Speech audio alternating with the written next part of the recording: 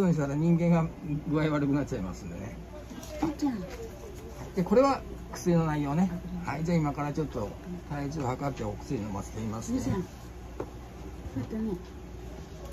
だからこれ目薬ね。なん。かできるかも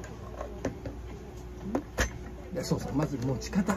鳥の持ち方をちょっと教えないといけないねこれが鳥だと思ってください。ちょっと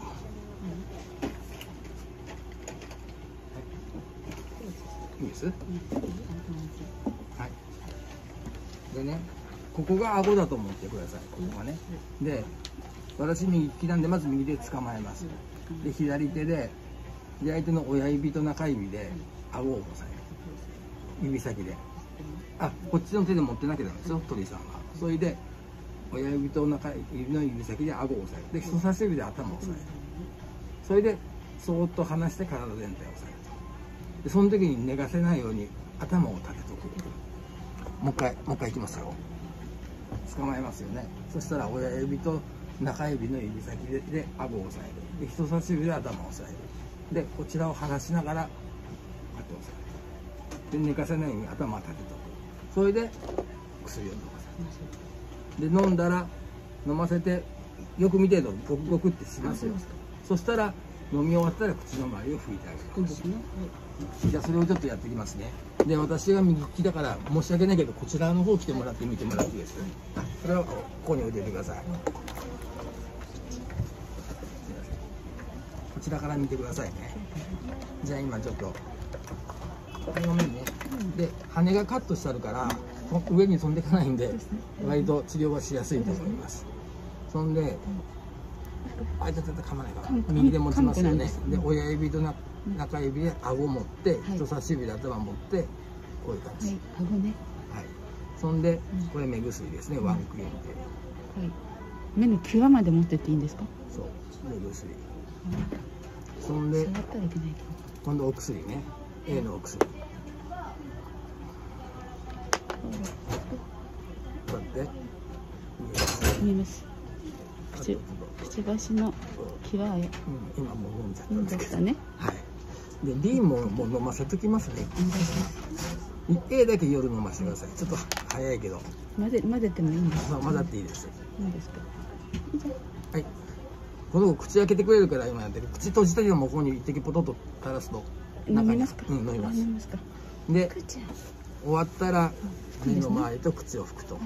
そんであとこのパウダーを。それはね目に入らない。よここここのとこね。そこねここね。うん。ここにこうやってかけてほしい。うん見えます？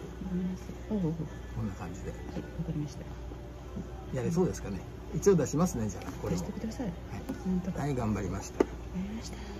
そんで体重がまあ今 24g ですね。そうかもうケースこれに変えたはいじゃあそちらからに、はい。すいません。はいごめんね。はいまだね。さあこんな温度計入ってます？温度が届かなかったあのでまだない。あカイロじゃあ開けます開けてない。開けましょい。い。ですか？うとりあえず一つでいいんじゃないですかこうやって別に問題しなくていいんだよね。直接でいいんですか？はい。ちょっと別で半分だけねそう。で温度計をこう見えるとこにこうだから穴をちょっとこれ大きすぎるからさちょっと塞いでくださいね。あなんかテープで？うんテープで。ちょっと大きく。で上上が上が5つでさ横に5つぐらい。5つ横に10個ぐらい。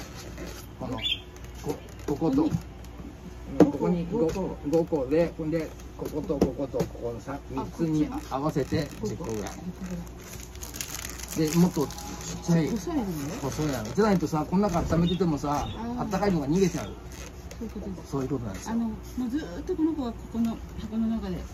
ほんで出してっつってすぐサイズって元気にしてたら出してあげる出してあげていいですか？だけどいきなりあんまりずっと出しっぱなしにしないで、はい。とりあえず30分とか小1時間出してまた戻す。ね。うん、そんで夜寝るときはこのそう夜夜から朝はここの方がいい。この方がいいですね。そう。であだけどこの温度計がないと何度になってるか分かんないからさ、そこをちょっと確認しながら、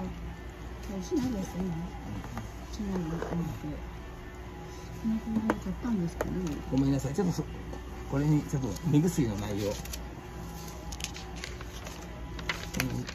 ごめん。なさい目薬がワンクリーンこれなん。ですよだけどこれででかすぎるからちょっとちっちゃいのに変えました、5cc でこれはですねえっ、と放酸とそれからヒアルロン酸、ヒアルロン酸が入ってます。で放酸っていうのは目を洗うときに目を洗うとき使う。それであと弱い弱い殺菌作用があります。であとこっちヒアルロン酸？ヒアルロン酸は何だっけな？あの保湿？そうですね。私もやってます。そうそう保湿作用。目を潤すはい、そういう成分が入ってます。で今度こっちの白い粉ね。あこれイタロ。イタロパンって書いてありますけどこれはね腫瘍をなんとかするんじゃなくて皮膚炎を治す薬です。皮膚炎を治す、うん、治す薬です。だから皮膚がただれてるじゃないですか、はいそれを治すお薬。で本当は人間とかワンちゃんとかねドロッとしたやつをつけるんですけど鳥はそういう液体とかドロッと軟膏とかねつけると体温が下がっちゃう。だからもう基本的に外用はつけないんだけど、まあ、こういう粉だったらつけれるんだったらつけてもいいからちょちょっと少し落として少し。だからあと入院期間中、まあ、今日なんですけどね、抗寄生虫薬を、えーっとモキシデクチンこれを1滴つけてます。そこでつけることによって1ヶ月体の表面の寄生虫お腹の中の寄生虫が血管軸寄生虫が予防できます。だからまあでちょっとごめんなさい。もうちょっと話があるからじゃあすもうもう一回座ってください。でこのモキシデクチンってねもともとイベルメクチンっていう薬があるんですよ。イベルメクチン。こいつが進化した薬がモキシデクチンとか他にもいろんなセラネクチンがあるんですけどね。でこのイベルメクチンってももともとこれも動物薬だったんだけど30年前から人用が出てるんです。イベルメクチンね。で抗寄生虫薬として使われてます。で日本でも、まあ、使われてるけど、まあ、そう日本人でさ寄生虫に感染する人最近少ないですよねでも世界的に見るとアフリカとか南米の川辺に近くに住んでる人は結構蚊とかに刺されて寄生虫感染するんですよ。でそれでちっちゃい虫が蚊に刺されて入って見に行く人が多いらしいんですそういう人で目が見えなくなる。そういう人たちのことをオンコセルカ病って言うんですよね。寄生虫感染して目が見えなくなる。でそういう地域の人たちにこのイベルメクチンを全地域じゃないけど一定地域の人にイベルメクチンを無償で飲んでもらったらこのオンコセルカ病が副作用になる。激減者と。でまた翌年飲んだらまた激減者とでこれすごい薬だねってことでこれ発見した先生が日本の先生で7年前にノーベル賞を取ってます。大林先生がもう一個。これの進化した薬が目的ですよね。それからもう一個コロナ。コロナのあの、まあ、今はね5類でそんな重重くならないけど出た当初ってさ亡くなる人もちょこちょこいたじゃないですか。ね。ね、重症化してね。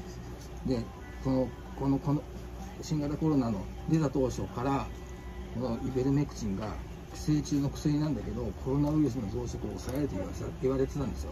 でも結局日本では認可されなかったんですけど結局アフリカじゃないごめんなさい。ヨーロッパとかアメリカとかは使ってました。